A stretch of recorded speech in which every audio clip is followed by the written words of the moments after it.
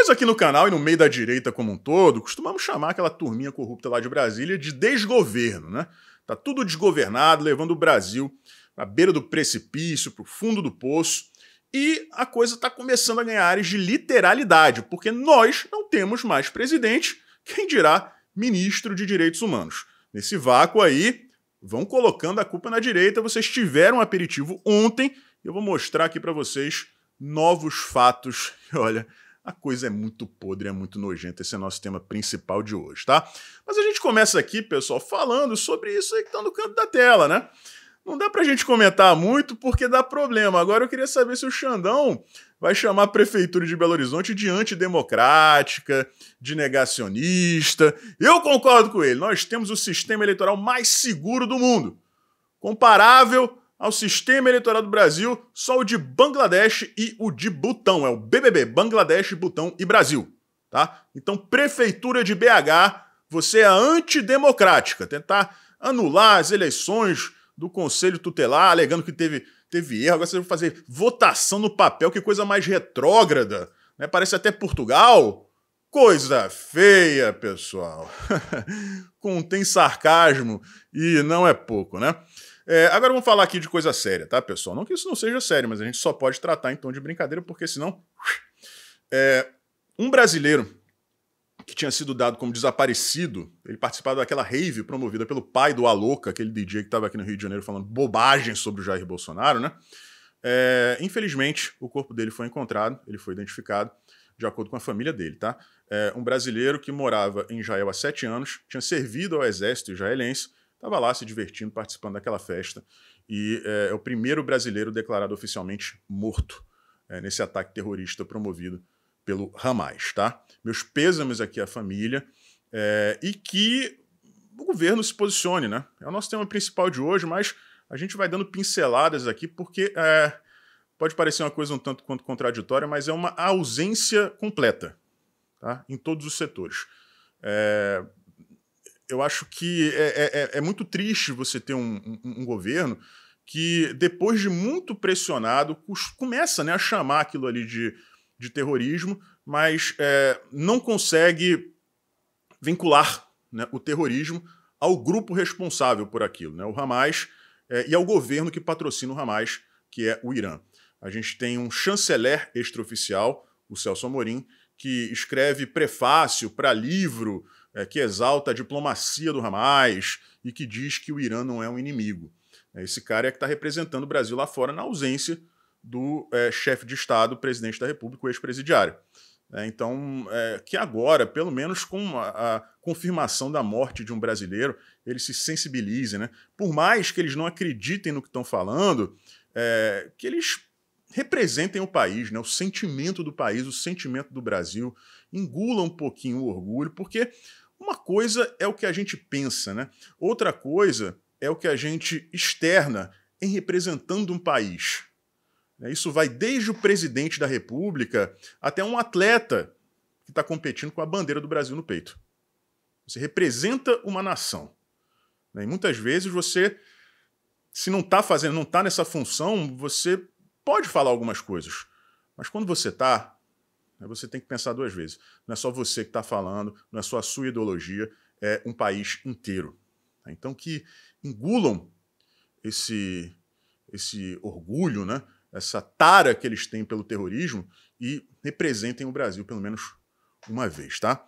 É, seguinte, pessoal, a, a gente vem falando aqui, tratando durante esses dias, desde o último sábado, né, a, o duplo pensar da imprensa brasileira, que trata senhorinhas, é, enroladas em bandeira, né, com o terço, com a Bíblia, chama essas pessoas de terroristas, tiozões do churrasco, nenhuma, absolutamente nenhuma pessoa armada.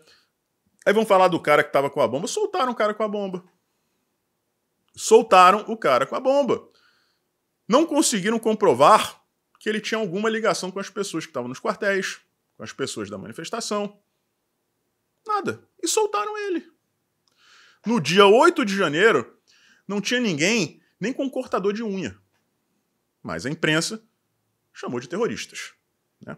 Começam os ataques terroristas contra Israel. E a imprensa chama de tudo: chama de conflito, chama de grupo armado. chama de é, é, grupo é, muçulmano, grupo islâmico, mas não chama de terrorista.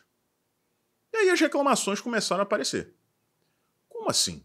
Como vocês chamam aquelas pessoas do 8 de janeiro de terroristas e, e, e evitam a todo custo chamar estes outros, né, esses é, é, carniceiros sanguinários de terroristas? São apenas é, membros de um grupo islâmico, Hamas?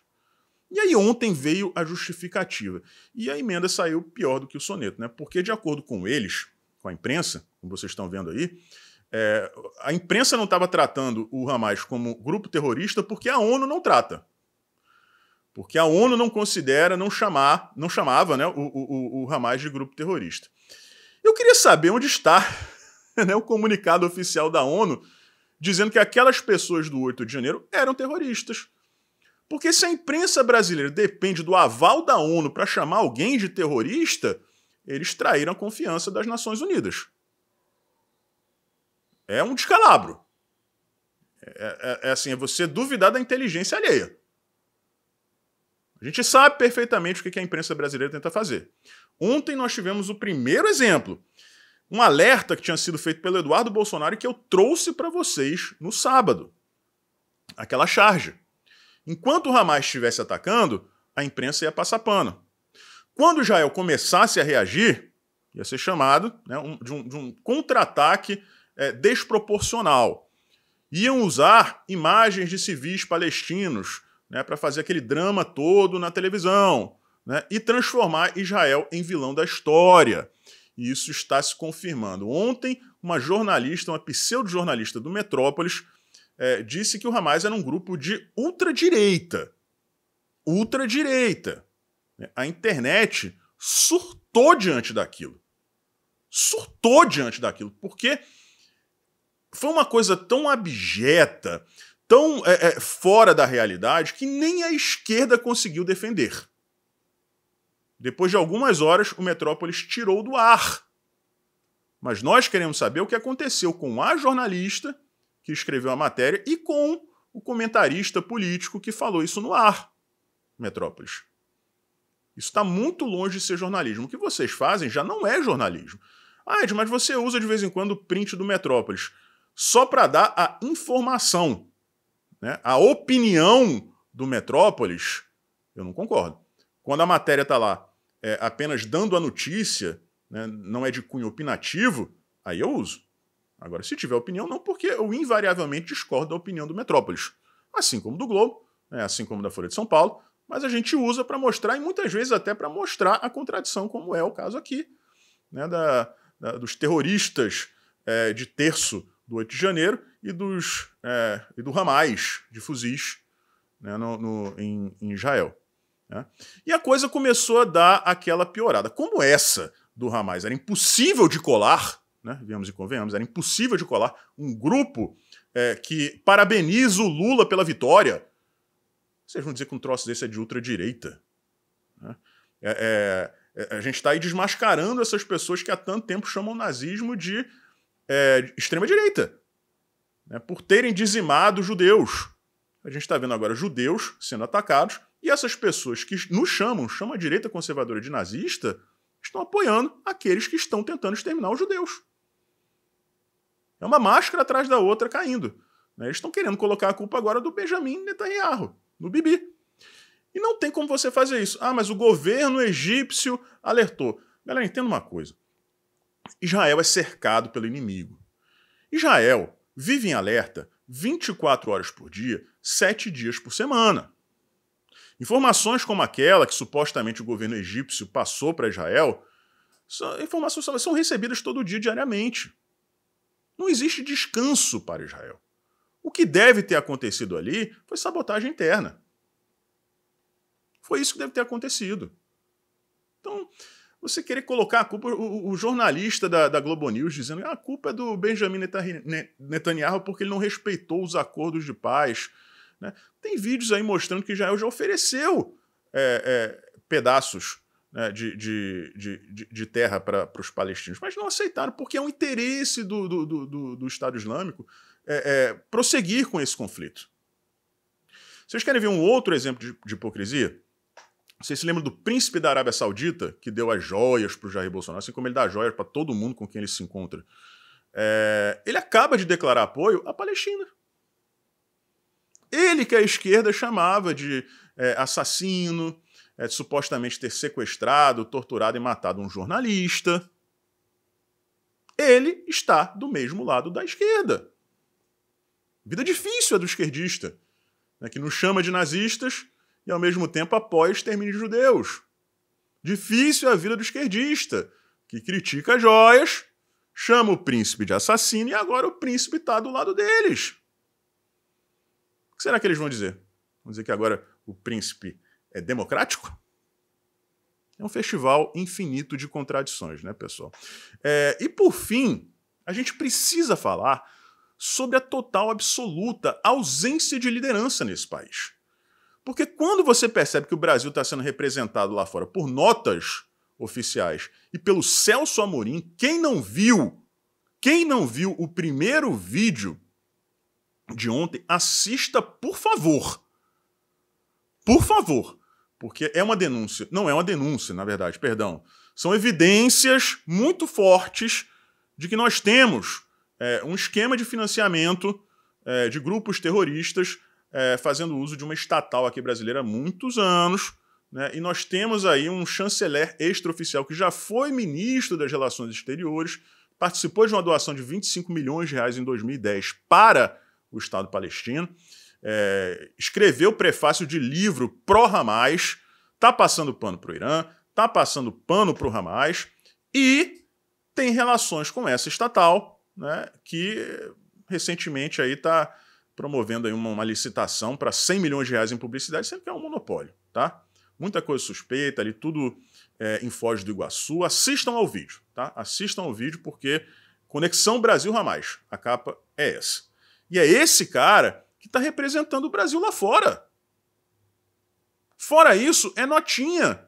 É convocação do Conselho de Segurança da ONU que não tem alternativa. Por quê? Assento rotatório, Brasil ocupa e ele está chefiando o Conselho de Segurança é, é uma, um, um, um, só um turno, tá, pessoal? Depois vou mandar para lá. Então, quando o Brasil convoca, a, a, presença é obrigatória. Aí todo mundo tem que sair, tem que parar o que está fazendo, coisa importante, para ir lá ouvir representante, representante do cachaceiro ex-presidiário que fez uma plástica e não pode aparecer em público com um andador porque ele acha feio, como se em algum momento da vida dele ele não tivesse sido feio, tivesse sido bonito. Não temos presidente. Neste caso, em se tratando daquilo, é melhor não ter mesmo. Porque se ele tivesse aí, era uma bobagem atrás da outra que aquele cidadão estaria falando. Além dele, o ministro de Direitos Humanos vagalume. Brilha, desaparece. Brilha, desaparece. Brilha, desaparece. Quando os médicos são assassinados na Barra, depois, quando os responsáveis, dois negros traficantes que eles tanto defendem, são executados pela própria quadrilha, pelo crime organizado, pelo Comando Vermelho, ele some. Na hora de defender banheiro unissex, passando pano, o ministro dos Direitos Humanos brilha. Depois, como bom vagalume, some de novo quando é Israel que é atacado por grupos terroristas. Mas ele, ministro dos Direitos Humanos, vagalume, nessa hora ele desaparece, ele não quer brilhar. Por quê? Porque se ele abrir a boca vai falar bobagem. Ele não entende o conceito que eu falei aqui para vocês. Que quando você representa uma bandeira, representa uma nação, representa um país, engole a tua opinião pessoal, porque senão aquilo vai prejudicar milhões de pessoas. Você fala por todo mundo. Não por tua ideologia, por tuas crenças pessoais, porque as dele a gente conhece. Mas ele não consegue engolir o orgulho e representar o país. Pelo menos na área dos direitos humanos. Some, desaparece porque é um covarde. Um covarde. Assim como é o presidiário da República. Bota a mulher para alimentar a Ema. E não dá a cara porque é feio aparecer com o andador. Eu não quero passar a impressão de que eu sou fraco. É nisso em que fomos. Na, na, nas mãos disso que nós estamos. Forte abraço, a gente se vê por aí.